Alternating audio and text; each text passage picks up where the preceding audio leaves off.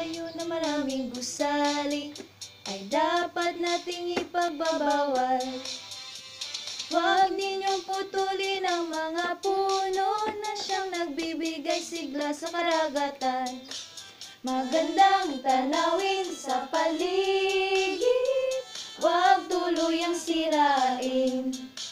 Mga tao'y ating hikayatin upang kalinisan ay mabatid. Paano natin ito masusolusyonan? Kailangan natin magtulungan upang kaayos ay makamtan.